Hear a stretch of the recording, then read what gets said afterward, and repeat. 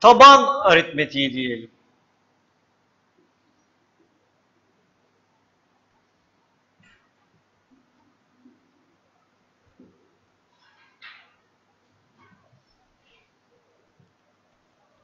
Taban aritmetiği. Peki. Şimdi ilk başta şunu e, ne yapmıştık? Anlatmıştık. Şimdi biz onluk tabana göre işlem yapıyoruz demiştik hep günlük hayatta. E, matematikte daha doğrusu. Taban aritmetiği ayrı bir konu. Neden? Çünkü onluk yaptığımız işlemleri bu sefer tabanı yer aldığı o sayıya göre yapmak durumunda kalıyoruz.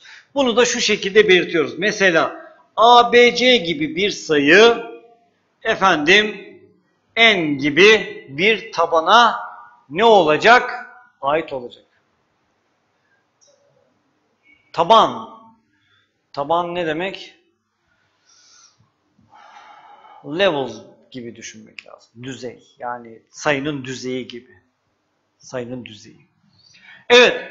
Şimdi bir, iki tane kuralımız var. Bu parantezle belirtilen sayılar kesinlikle tabandan ne olması lazım? Küçük olması lazım. Yani A'nın, B'nin ve C'nin her zaman tabandan ne olması gerekiyormuş? Küçük olması gerekiyormuş. Hep bunu düşüneceğiz. Küçük. Kesinlikle büyük bir sayı ne yapacak? Olamayacak. Bir. Birinci kuralımız bu. İkincisi onluk tabanda ne yapıyorsak herhangi bir tabanda da aynı şekilde davranmamız lazım. Burası tabanımız 10 olduğunda birler basamağı, onlar basamağı yani onun birinci kuvveti. Bu da yüzler basamağı onun ikinci kuvveti olarak yapıyoruz. Bu sefer tabanımız neyse o işlemi ne yapıyoruz? Ona göre yapıyoruz arkadaşlar. Bu işlemede biz onluk tabanda e, farklı bir tabandaki sayıyı onluk tabana ne yapmak diyoruz? Çevirmek diyoruz. Tamam? Demek ki taban aritmetiğinde birinci konumuz onluk tabandan pardon farklı bir tabandan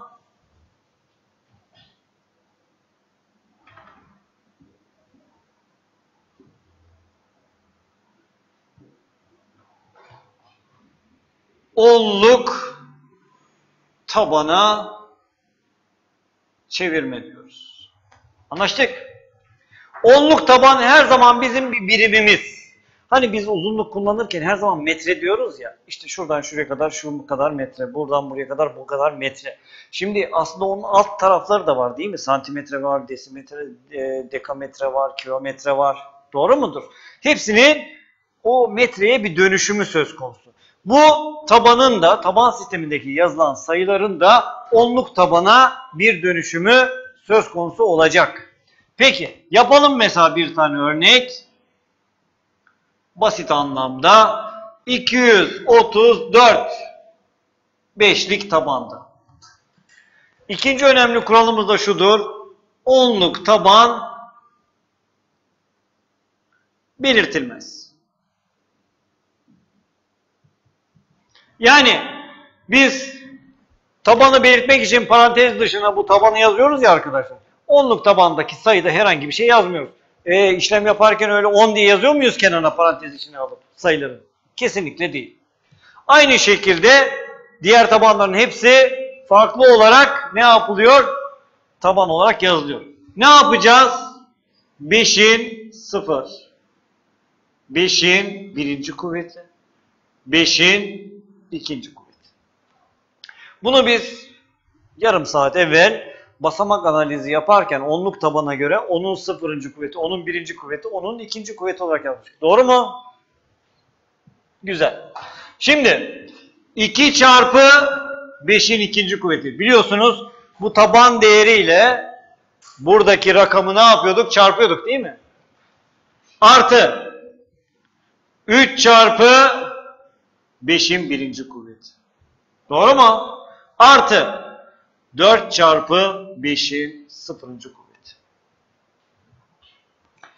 Şu toplamı elde ettiğim zaman bu 234, beşlik tabandaki 234 sayısının onluk tabandaki neyini buluyormuşuz? Karşılığını buluyormuşuz.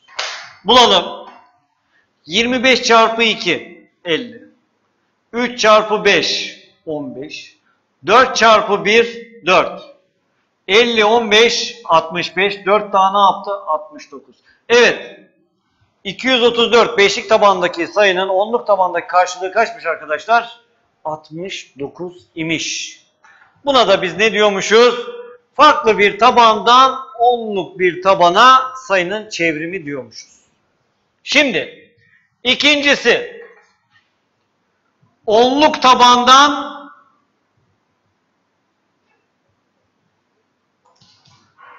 farklı bir tabana çevirim. Tamam?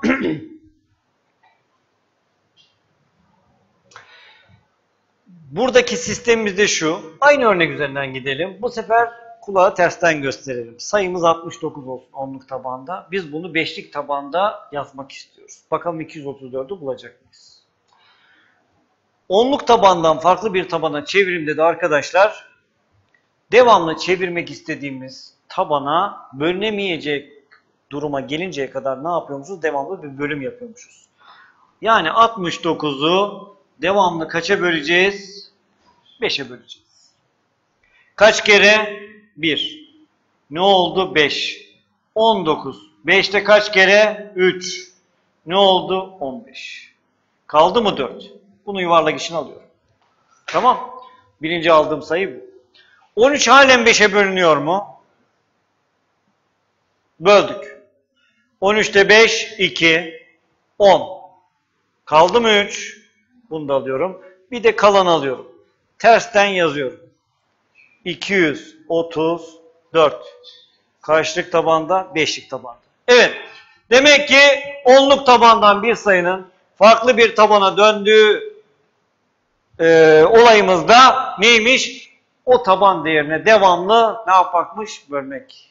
Anlaştık mı? Tamam mı? Tamam mıdır arkadaşlar? Gayet basit. Şimdi bunlarla ilgili sorular tabii birazcık zorlaşacak sonrasında. Ee, ama kavramı çok iyi anlamamız lazım. Şimdi bunlarla ilgili tabanlar arasında da toplamlar yapıyoruz. Ben size biraz da onlardan göstereceğim. Nasıl? Şu şekilde. Mesela onluk tabanda bir sayıyı toplarken biz ne yapıyorduk? Kaçlı olsun? 326 olsun. Topladığınızda ne oluyor? Basit bir olay değil mi? 5, 6 daha nedir? 11. Heh. Elde var 1 diyorduk. 8, 2, 10. 1 daha 11. Elde var yine 1 diyorduk. 7, 3, 10. 1 daha 11. Bunun toplamı kaç oluyordu? 1111. Şimdi farklı bir tabandan yapalım bu işi. 234. Şuradaki sayı olduğu için. Efendim 322. Bunlar beşlik tabanda olsun. Topluyoruz. A toplama diyelim. Farklı bir tabanda toplama. Şimdi bunun iki farklı yöntemi var. Birincisi gayet uzun. Neden? İkisini de onluk tabana çeviririm. Şuradaki gibi. Ondan sonra toplarım. Topladım onluk bir taban olduğu için beşlik tabana çevirmek için devamlı bölerim. Bu uzun yol. Kısa yolda bu şekilde toplama. Bakalım. 4, 2 daha 6. Burada biz 5, 6 daha 11 dediğimizde 10'unu alıp birini yazıyorduk değil mi? Buradaki taban değerini alıp geri kalanını yazacağız. 4, 2 daha 6. Taban değerim kaç? 5'ini aldım. 6'dan 5 çıktı. Kaç kaldı? 1. O 5 için elde var 1 diyorum. Anlaştık mı? Geldik. 3, 2 daha. 1 de elde vardı. Beşini aldım. Bu bir halen devam ediyor. Üç iki daha. Bir daha. Bir kaldı. O elde kalan biri de bu şekilde yazıyoruz. Demek ki beşlik tabanda da bu 1111'e neymiş? Eşitmiş. Bu da kısa yol. Evet. Anlaştık. Bir tane daha yapalım. Hadi bakayım sizler de orada yapın. Efendim 453 5 2 3 altılık tabanda bir toplam istiyorum. Toplayın bakalım. Evet sonuçları görmek istiyoruz. Hadi bakalım.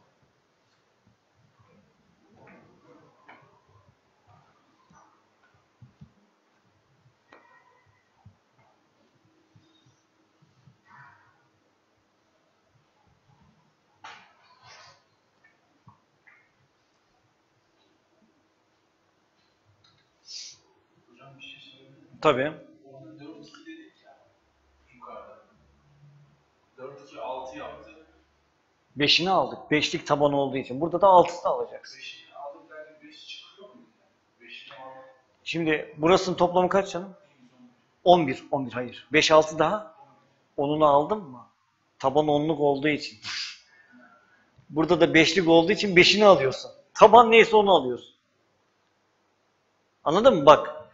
5 6 daha 11. Onluk taban olduğu için herhangi bir taban yazmayınca onluk taban kabul ediyoruz. 5 6 11. Onunu aldım. Geri kalanı yazdık. Doğru mu? 1. Burada da 4 2 6. Tabanın 5 olduğu için 5'ini aldım. Kalan nedir? 1. Şimdi tabii ki bu toplamdan sonra mesela bir çarpıma geçeceğiz. Bu sefer 2 tane 5, 3 tane 5 alma şansları var. Mesela diyoruz ki 6 kere 6 36. O çarpımı yazarken 3 elde ediyoruz. Neden? 3 tane 10 olduğu için 36'nın içinde. 6'yı direkt yazıyoruz. Bunda da aynı şey geçerli. Onluk tabanda ne yapıyorsak yani on, normal işlemlerde ne yapıyorsak bu sefer taban neyse 10 yerine onu düşünüp yapıyoruz aynı şeyi. Anlaştık mı? Çıkarmada da böyle, çarpmada da böyle, toplamada da böyle. Bakın 3, 5, 8. Altısını aldım. Kaç kaldı? 2. Altısı için buraya 1 yazdım. Elde var bir tane altılık çünkü. Anlaştık. 5, 2, bir daha 8. Kaç kaldı? 2. Bu bir halen ne yapıyor? Devam ediyor. Değil mi? Bakalım. Evet. 1010, 2, 2, 2. Bakalım. 4, 3, 7. Bir daha 8. Ne yapacağız? 2 yazacağız. Bu elde kalan biri de buraya yazıyoruz. Demek ki bu 1226. Evet. O 2222'ler ah ah ah elde var 2 mi oluyor arkadaşlar? 4 3 7. Bir tane 6 almıştım zaten elde var 1. 8 oldum mu 2'yi yazıyoruz. Elde kalan 1'i de buraya yazıyoruz. Şimdi siz şurada 7 3 10 bir de burada var 11 yazdınız. Elde kalan biri 1 olarak buraya yazmıyor muyuz arkadaşlar? Aynı mantık. Toplamdaki aynı mantık. Tamam. Peki acaba doğru mu? Onayını yapabilirsiniz. Eğer üşenmeyecekseniz 6'nın 0, 6'nın 1, 6'nın ikinci kuvveti gibi bu şekilde onluk tabana çevirin. Toplayın ondan sonra tekrar altılık tabana çevirin. Bakalım doğru mu? O biraz daha uzun bir işlem. Peki halen yanlışlar var. İkinci soru.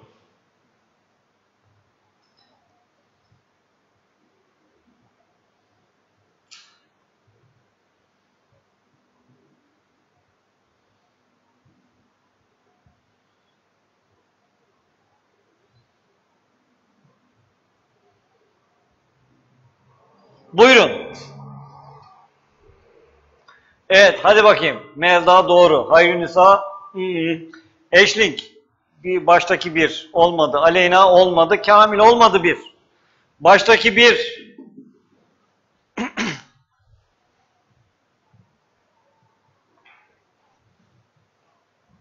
hadi bakalım birazcık dikkat. Onluk tabanda ne yapıyorsak aynısını burada da yapıyoruz. Onu unutmayın.